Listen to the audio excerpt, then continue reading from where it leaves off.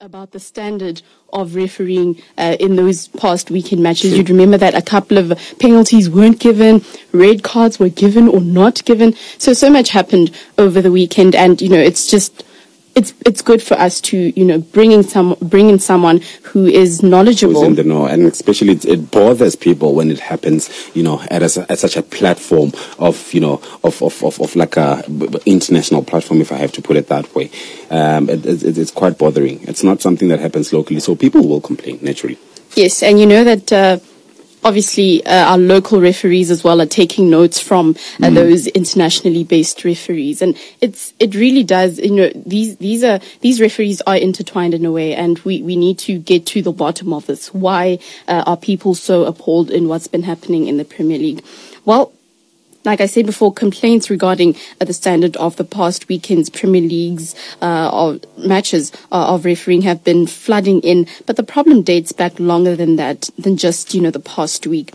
Well, on the line uh, to talk to us regarding the standard and status of uh, Premier League refereeing. We are going to bring in someone. We're still having him on the line, and psychologist. He he has so many titles. To, had to dig deeper. Okay. What is he? Psychologist, mm. FIFA referee, and assistant referee coach and mentor, among other achievement. Th- among uh, other achievements, he has so many. Mm. I can't even mm. mention. He's also a writer. Um, you can go on, you know, your Super Sport to check out some of the, the material that he's written so far. A very seasoned man in terms of refereeing quite, quite, quite a great person. I mean, a, a, relevant person to get. I'm most interestingly, you know, interested to know what exactly is the problem with the standard of match um, officiating right now. Something that we'll have to figure out once we get a hold of him. I believe that he's out of the country. Maybe that's why, you know, it's kind of uh, delaying uh, for us to get a hold of him. Is he is he someone that's based in the country? No, he's not he based, based, in the country. In the yeah. country. He's yeah. based in Europe. And he's also known as the hanging judge to me. Oh, yeah? yes. Oh, yeah. Uh, Dr. Errol Sweeney. And we, we are currently still trying to get him back, to get him on the line uh, for now. Yeah, I'm here now. Oh, oh. Dr. Errol Sweeney, how are you? Very well, thank you. How are you? We're thank good, you, thank, thank you. you. Well, uh, there's been a lot of criticism towards Premier League refereeing, uh, more especially this past weekend. What's your opinion on that or on the display? Look, I'm very slow to criticize referees um, in any country or in any league, having been there myself and knowing the difficulty of the job. Uh, and it's getting harder as um, time goes on. However, uh, when when a referee or a person, be it male or female, reaches a certain level, there are certain standards required from them. Um, if they get to a particular level, say Premier League level, well then they must be the cream of the cream. Mm. They must be the best of the best. And if they are the best of the best, then they should produce and deliver the best of the best. Uh, sadly, I have to say, and again, I'm very loath to, to criticize, that did not appear to be the case this last weekend. And in my opinion, uh, the standard of refereeing in the Premier League in England is actually getting worse. All right. Now, just being in literal sense, Doctor, I mean, what exactly is the problem with the standard of match, I mean, officiating right now? Also incorporating that, you know, with the, previous experiences that have been happening in, uh, in the FIFA, uh, you know.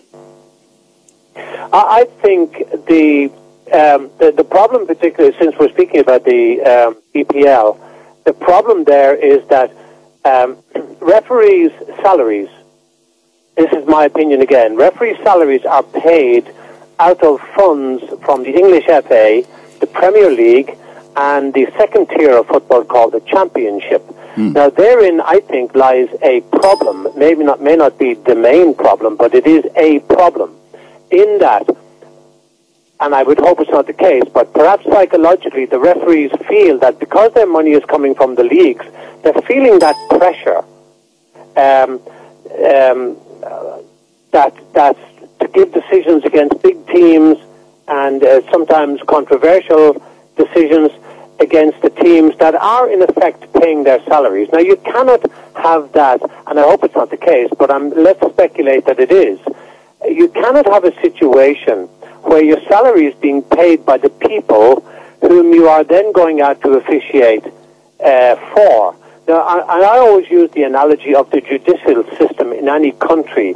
The judicial system in any country has to be uh, totally and absolutely independent from any branch or section of government who pay their salaries. They've got to be independent. You cannot have a situation where you see a judge, before a trial begins, coming down, shaking hands with the defense and shaking hands with the prosecution, and then going back up on the bench. And that's what we're getting in soccer. We have referees shaking hands with players before the kickoff, and then no longer has the game kicked off a minute, sometimes even less, and a referee gives a decision which one team or the other doesn't like. And suddenly they're in his face, they're shouting and screaming at him, they're crowding around him, they're trying to get him to change his mind. It's absolute nonsense.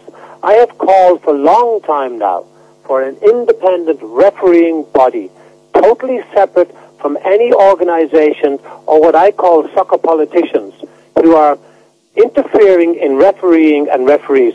They should be totally separate, independent, controlled and run by referees, ex-referees, with a separate board, which was proposed to the PSL some years ago in a, in a report drawn up by former English referee David Elleray. And he proposed that there should be a board headed by a retired judge, perhaps, um, and they and they alone would control referees. Nobody else would have any say whatsoever. Now, Doctor, you recently wrote on the Professional Games Match Officials uh, Limited's decision to scrap referee assessors, or as we call them in South African football, match commissioners uh, from the Premier League match setup. What is the importance of assessors, and what will the effect of doing away with them do to the standard of football? Well, in my opinion, again, a match commissioner or referee assessor or match ins- uh, referee inspector or whatever you want to call them, these are the guys who go along and they look at the referees. Their only their only function is to look at the referee's performance. How has he performed? How can his performance be improved? It's not to go there and to criticize him and to uh, to um, shout and scream at him and this and that. It's there to improve his performance in any way they can. Now, they've taken away referee assessors in the English Premier League. To me, that is a backward step. I believe that the match commissioner or referee assessor is like uh, is like the, the coach is to the players. The, referee assessor is to the referees. He he is there to assess the referee based on his experience uh, of the past of being Uh, uh, an ex-referee. He knows what the situation is. He can then help referees with their game. Perhaps they're in the wrong position. Perhaps they're they're not running the correct way. Perhaps there could be lots and lots and lots of things. And this is where the referee inspector or match commissioner comes in. I also believe, and it's not happening in South Africa. I don't know if it's happening in other countries, but it certainly was happening when I was refereeing.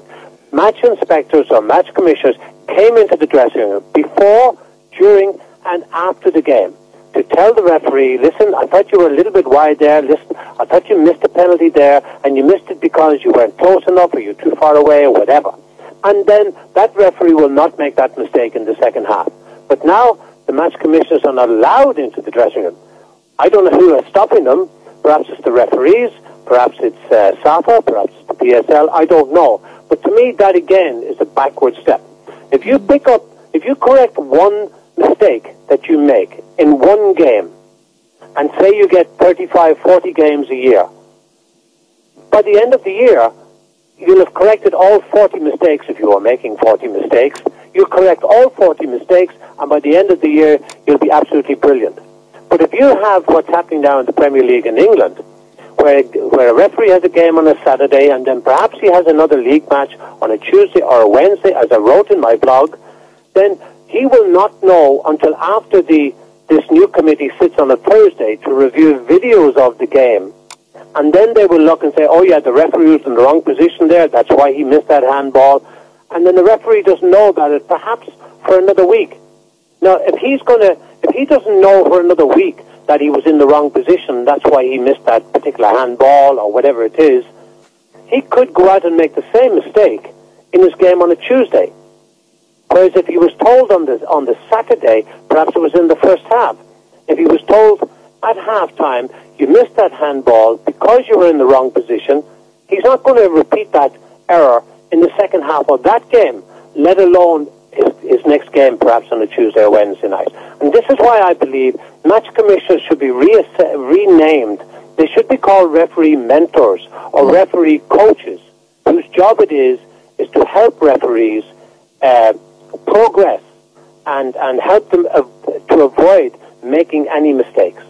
Right. Now, Doctor, earlier on you did mention, I mean, touched on uh, the issue of, you know, having an independent body, obviously run by, by referees. And I felt like, you know, you just left it lying there. I mean, just looking deeper into it, why is it that we currently don't have an organization of that sort? And I mean, is it something that's doable?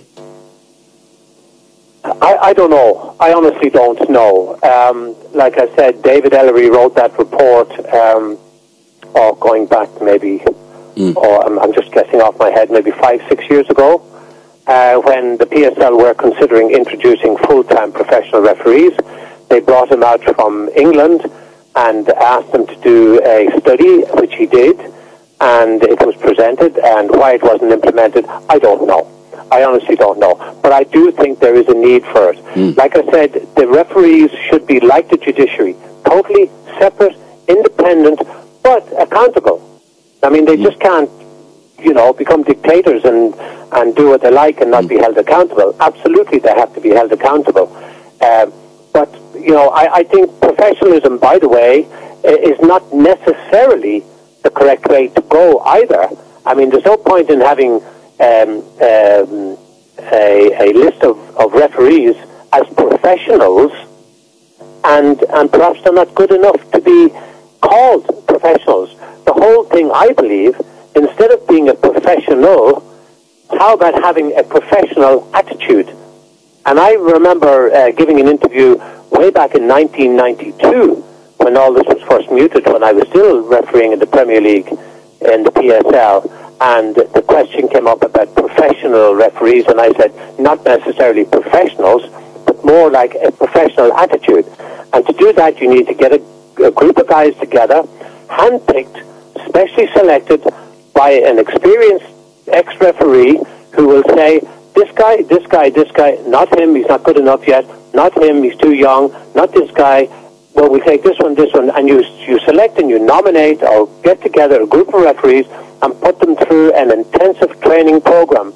And I guarantee you it will work if you get the right guys and then, obviously, pay them, compensate them for the work that they're going to do, for the uh, time that they have to put in. If it's professionalism in the sense that they don't have any other job, then so be it. But uh, first of all, they have to want to be referees. Secondly, they must have a professional attitude that they are going to behave themselves in every way. That includes their diets, their drinking, their sleep, their whole social um, um, behavior must change as well. And then if you have the right guys, then you pay them.